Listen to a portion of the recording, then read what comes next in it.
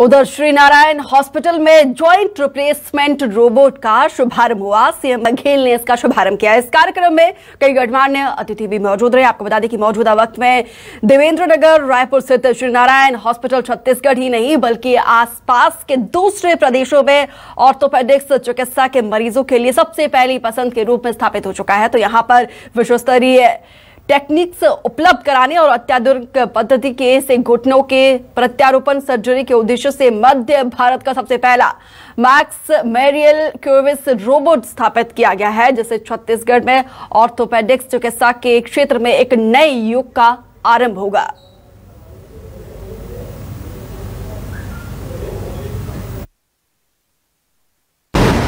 आज नारायण हॉस्पिटल में automatic joint replacement robotic surgery की सुविधा शुरू हो रही है। और ये हमारे लिए पूरे मध्य भारत के लिए सबसे बड़ी उपलब्धि कि आज श्री नारायणा में डॉक्टर खेमका की मेहनत से आज इसकी शुरुआत हुई है, शुभारंभ हुआ है। इसके लिए मैं बधाई देता हूँ। ये रोबोटिक जो सर्जरी होती है, ये इसमें परफेक्शन बहुत ज़्यादा होता है।